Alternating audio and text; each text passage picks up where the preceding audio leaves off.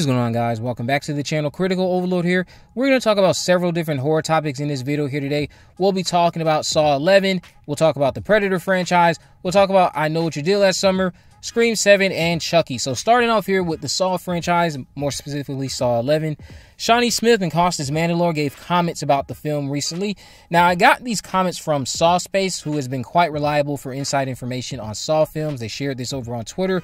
I'm assuming these comments were made at a recent 20th anniversary screening or some type of event dedicated to the film's 20th anniversary since it's been 20 years since the first movie dropped. So this is what Shawnee said. She said, We're working on Saw 11 to make it worthy. It's going to be a blast. Cecilia is the most deserving of being in a trap. I cannot disagree. I actually want to see uh, Amanda get her lick back for the slap Cecilia did to her at the end of Saw X. Now you can say she got that back when they revealed the twist and trapped them in that room. That's not enough for me. Something about that slap just didn't sit right with me. So hopefully Amanda can get her comeuppance when it comes to Cecilia during this next film. Costas had this to say. He said, Shawnee's ready for Saw 11. I'm not allowed to say anything about the next one. Otherwise, I'll get killed before my time. Now, the last official, well, not official, but from viewer non who is quite reliable, we've been hearing about this butting heads between producers. But everybody seems to be in agreement on what Kevin wants to do. But it's just coming to an agreement between the producers. And then when that is done, we can move forward and get Saw 11. Like I stated, if Saw 11 fizzles out, I am content with Saw X being the point of the end of the franchise. I know many people would agree. Now let's talk about the Predator franchise. So we have an update on the Secret Predator project. Multiple sources told IO9 that the Secret Predator project is in fact an animated feature, as many speculated. The twist, though, is it's almost an anthology telling three separate stories of predators fighting warriors in multiple eras. One is potentially pirates, one is potentially samurai, and there's a third one too. It says here we reached out to Disney for comment on this, but had not heard back as of publication. I need this to be confirmed because the animated anthology stuff seems to me like this is inspired by what Dan decided to do with Prey. I remember when Prey first came out, people were saying, okay, don't do Prey 2, but do another film set in a certain type of period the way Prey was, like with the Native Americans. Now they're going to do pirates. Now they're going to do samurais. So hopefully this is true. We'll see what comes of this. Let's talk about I Know What You Did Last Summer. So I don't know who this person is. A lot of you don't know who she is either, but think they are a model. Gabriette is supposed to be starring in I Know What You Did Last Summer. Filming is reportedly underway in Australia as of now. Now, this came during an Elle magazine interview where the model confirmed this. And in this magazine, it was also referred to I never forget what you did last summer. The interesting thing is that if that's true, then the director lied to protect the title recently, or could this just be the working title? Because the director already came out and shot down Production Weekly, listing the film to be titled as I Never Forget What You Did Last Summer.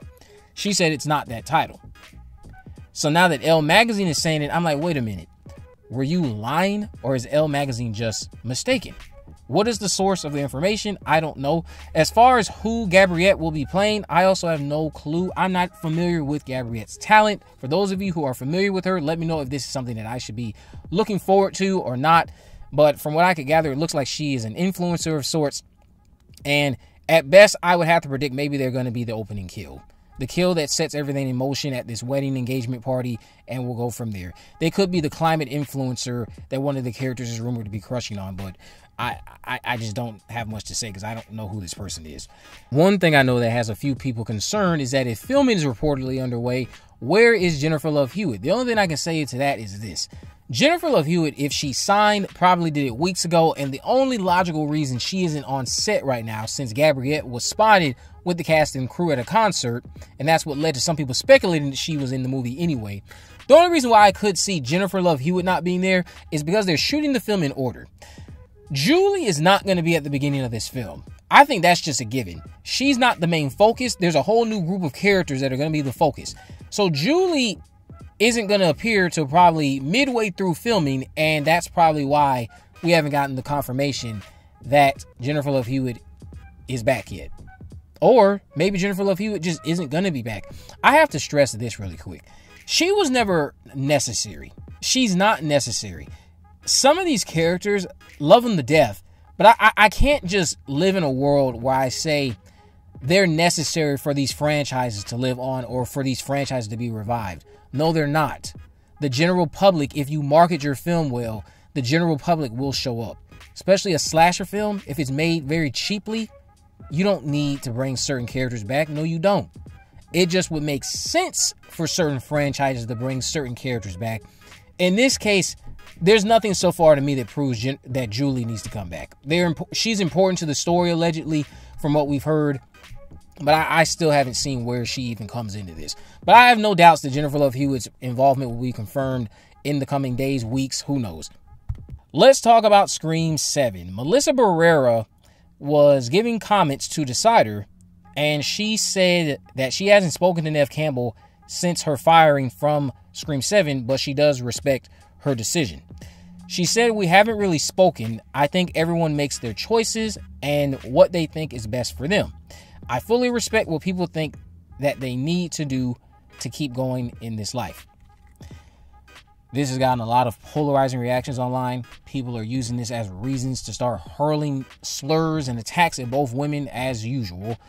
And all I can say about that is this kind of backs up what I was saying when I was alluding to the fact that it's possible Melissa isn't that bothered by this in the way that many people think she might be. And what I mean is, Melissa has things on her plate. Thankfully, what they tried to do doesn't seem like it worked. And she doesn't have time to worry about Scream 7 like that. She doesn't have time to hold grudges. It was a very light comment for her to give in regards to Neve. I don't think this is her being shady or anything like that. I sincerely don't think she holds anything against the people participating in this film. She herself, as an actress, understands that there are a lot of opportunities that are just drying up out there. There's a lot of opportunities that these people, again, were spending the year telling us that they were fighting for when they were on strike. So, of course, Melissa doesn't seem like someone who's unreasonable and doesn't seem like she's going to be upset at people who sign on to do Scream 7. She just was making it clear that what Spyglass tried to do is not true. I've yet to see anything come out that proves that what they were labeling her as is true. So if you want to educate me on how it was true, go ahead and take a swing. But so far, everyone that swung has been missing. It seems like it's also rooted in just, oh, it must be true because I never liked her anyway. Well, it's like that's not reality. That's not how reality works. I can dislike someone, but if you're lying on them, just because I dislike someone doesn't mean that the lie is true. That's very delusional. But I also have to say this a lot of people have got to stop using what's happening to be nasty towards both women. Meaning, I should not be going online and seeing Neve Campbell referred to as the H or the W slur, the B slur. I'm just not interested in saying those words about that woman because I, I don't have a problem with Neve Campbell. I don't have a problem with Melissa Barrera. There's no reason to be telling her to go back to Telenova, all of these other racial slurs. It feels like people are infiltrating things that people are quite passionate about when it comes to why they're boycotting and you're using it as an excuse to be misogynistic and just be nasty towards them in ways that have nothing to do with the subject at hand. Yes, you can criticize her. Why are you wishing death on her? Why are you calling her all of these things that have nothing to do with the topic at hand? You can you can call her greedy, you can call her a lot of things, but what what grounds are there to call her the W word, the B word, and again, I'm saying that stuff because I don't want to call her those things. I don't even want to reference them towards Neve. I have no problem with Neve Campbell. I have no problem with Melissa Barrera. So let's talk about Chucky. Chucky, according to Don Mancini, is going to be doing what we all thought he would do. He put out this tweet saying the Chucky franchise has always prioritized story continuity across different media for decades. You will see your favorites again. Now, in the pictures, he obviously has the trio. Then he has Jennifer, uh, Fiona and Kyle's actress. I can't remember her name, Christine. So it's doing what we thought it was going to do, meaning the story of Jake probably isn't over. It's going to be materialized in some way in the upcoming movie.